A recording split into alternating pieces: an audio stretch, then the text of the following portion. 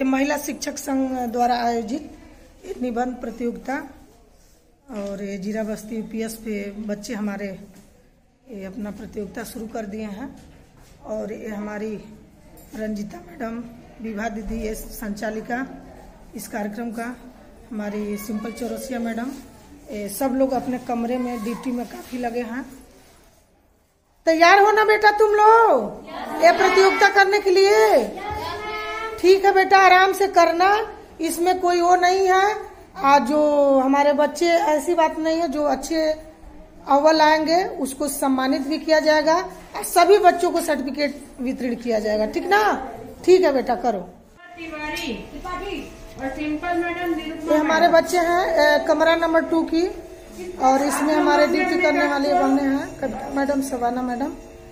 काफ़ी कच्छ में लगी हैं अपना संघर्ष जारी की है क्योंकि ये महिला शिक्षक संघ के द्वितीय पद स्थापना दिवस पे ये बच्चों बच्चियों की निबंध और चित्रकला प्रतियोगिता आयोजित है।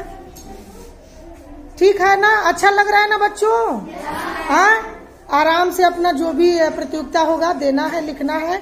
इसमें अ, कोई किसी का नकल नहीं करेगा ठीक ना? ठीक।